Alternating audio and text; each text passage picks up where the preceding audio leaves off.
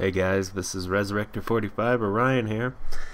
And I know I haven't done a video in a while here, but with the new games coming out like Battlefield 4 and Call of Duty Ghosts and a couple of other games like Destiny and other things like that, I wanted to actually get into a commentary here about the difference between the Battlefield stuff because I have a lot of memories of playing this game and the difference between the games are pretty similar like th there's not that much to go off of when it comes to these games. Like the graphics indicator yes that is a complete and utter change.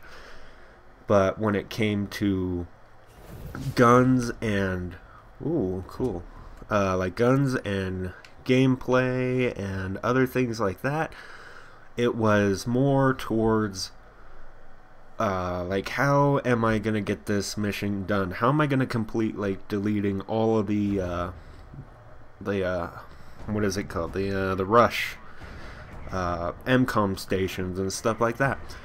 And people have been asking me like, what is the difference? Like, can you tell a difference? And definitely yes, you can tell a difference between the gameplays. Like pretty much choosing your own setup is dependent on how you play the games. Like personally, I'm a sniper. I camp in high up places, but my aim is pretty dead on. I'm pretty good at taking out snipers from the helicopters.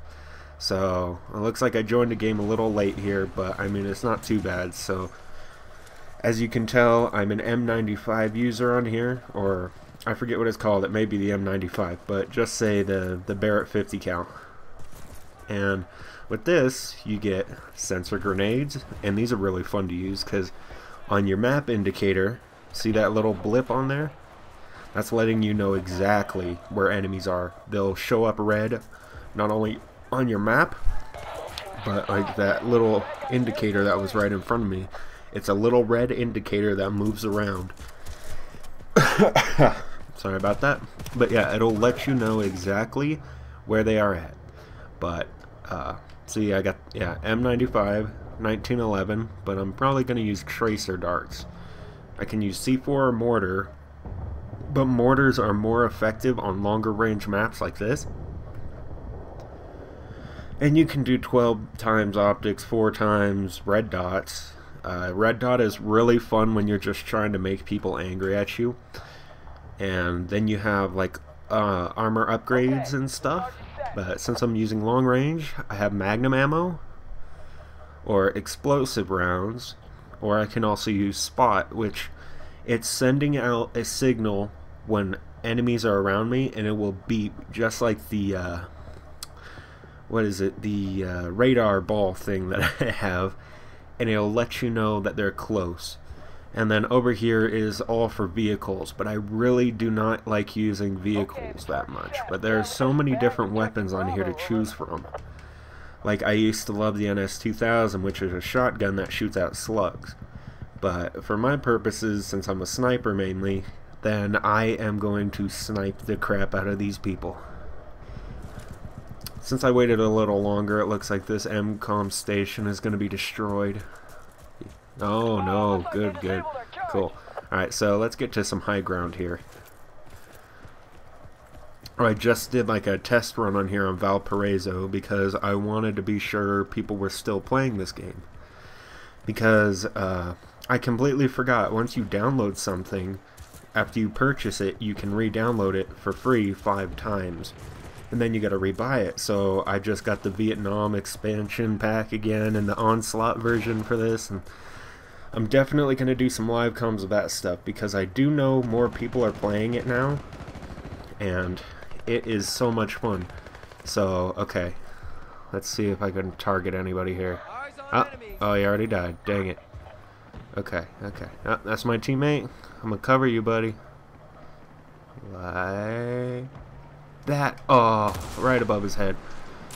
Yeah, like I said though, I haven't played him forever, so my aim is a bit off. But, I mean, once I get everything going here, I'm going to give them support on there. So even if they get in, it's going to take them down a notch. Okay, yeah. So there's a mortar incoming there. Cool. Got one.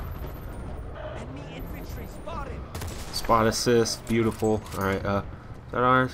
Uh, I am colorblind, so please keep that in mind.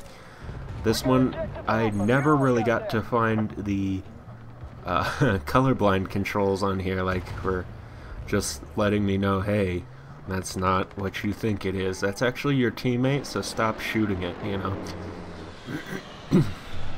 but yeah, depending on the people playing this game, alright, I'm going to say that again. It's all dependent on how you play the game yourself.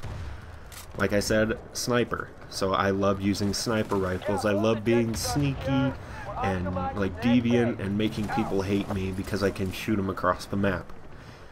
And then there is assault. Uh, there's recon, assault, medic, and then there is a support. Support is heavy machine gun. Assault is uh, no, I think I had that wrong. uh, assault is like regular machine guns. Uh, support is heavy LMG. Oh wow, he was right behind me. Okay, my bad. No, but uh, recon is pretty much all of this stuff here, all the sniper rifles, but you, in each class, you all get like a random gun, like random, uh, like shotguns and stuff like that. Then like the M14, G3, M1A1, and then the M1, M1 Garand, which is only unlocked once you have the, uh, stand by. Uh, let's see if I can do something else here. Oh, it's medic on here. It's the same as uh, support. Okay. Alright. So, yeah. All this here, I'm an M60 because I have good memories of this gun. This gun is beast. Alright, so there's always a couple of glitch spots on these games, and of course there's this one where you can swim alongside. It is pretty heavily guarded, but once you get all the way down to the edge of the map, it's pretty much uh, you jump up, come up behind them, and just mow them all down. And I used to do that with the M95 with the red dot sight because I thought it was hilarious to get messages from people like, why would you ever use that class? You know? And it's simple because I want to piss people off. I want to make them upset and to me, I think that aspect is what kept me into gaming on here because being this my first like mature game thing, you know, it was like okay, so now that I've trolled you, who else am I gonna troll kind of thing. And this is like the early, early days for me, and okay, so there's a bunch of people over there, great, bunch of people. Aim sucks, sorry.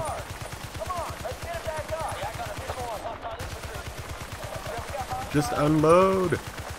Grenade!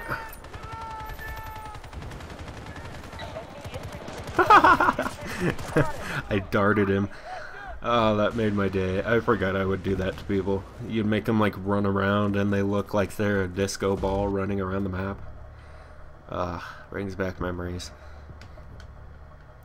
But yeah, I'm gonna try the NS2000 now. I know this isn't like the best gameplay ever or anything like that, but I'm gonna try to show you guys within the span of maybe like 20 videos no I'm just I'm just kidding maybe like five or six videos of just the differences between the two so as you can tell on here the graphics are pretty crisp the landscaping is very nice you get the huge huge amount of smoke billowing out from earlier maps and it just it looks very very unique oh god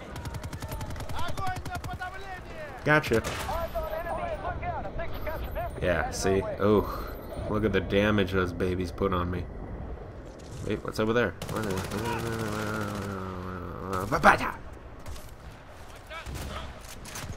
Yeah, see? This shotgun takes forever to reload. But it's really cool because you like shove the bullets down through the, the back of it. Here, I'll just, I'll shoot it a couple of times just to show you, but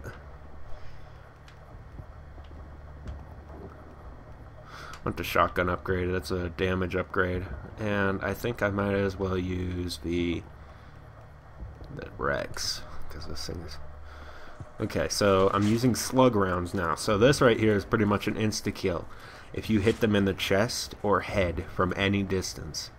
But yeah, that's the shotgun upgrade. It's got a quicker reload and power. But when you reload it, you just shove them like straight into the back. It's a beast of a gun. This gun has never let me down, not once. So what I'm going to do here is just, yeah, mess around like I was doing before. As you can tell, the jumping mechanics, you can jump like freaking Spider-Man. so you kind of just like float everywhere and it's like... Parachute pulls a lot quicker than in Battlefield 3. And it's kind of like the the mechanics of Battlefield 4 now. They've kind of mirrored this uh, like aspect of the game.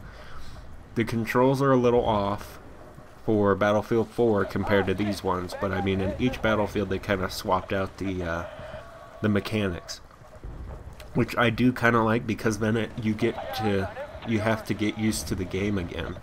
It's not like the same old thing over and over and over again. It's actually just like you have to get used to them. Otherwise, it's like you can do no good in this game.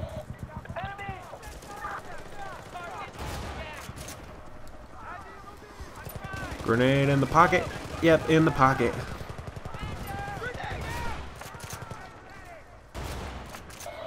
Yeah, see, uh, I'm playing on a small, very, very small screen right now, and it's kind of hard to aim, but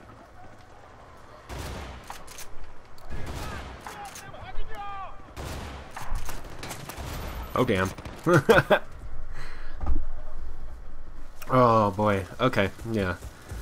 So, the the mechanics of this game, though, I, I really, really do like them, because it's like, it's kind of like going back, ooh, I forgot about this gun. Automatic sniper rifle. and, ah, this is one thing Battlefield cannot comprehend.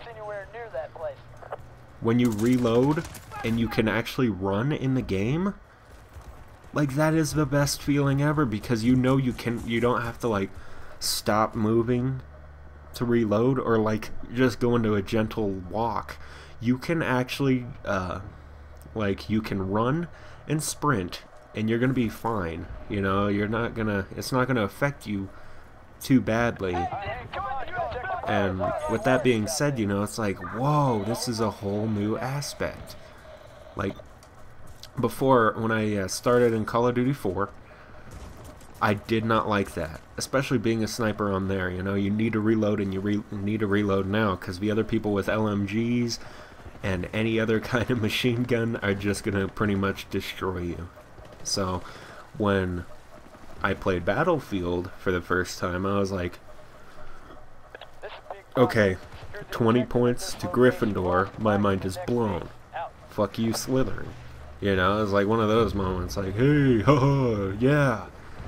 And then it just kind of compounded from there. Like, I played this one, loved it. Played the first Bad Company, and I love that.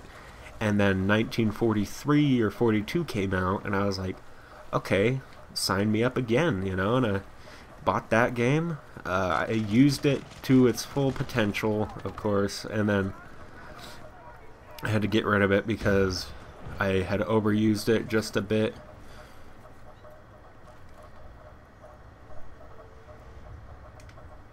Cool, explosion. I Love that. Alright, so I do apologize, though. I know I said I'm really, really good at this game, and I really, really am, but I mean, I have, I have not played in a while. The sensitivity is a bit off for me, Okay, there's one kill for the game. Sweet. Yep.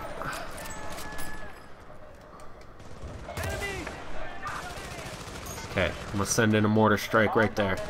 Reload this gun. But yeah, and then like, okay, picture this. Like, think of the reload animate, uh, the uh, knifing animation. It's very smooth. Um, it's not all drawn out where you gotta like turn around and you stab the dude in the face and then while he's on the ground crying you gotta kick him in the nuts and stuff like that. It's nothing like that now.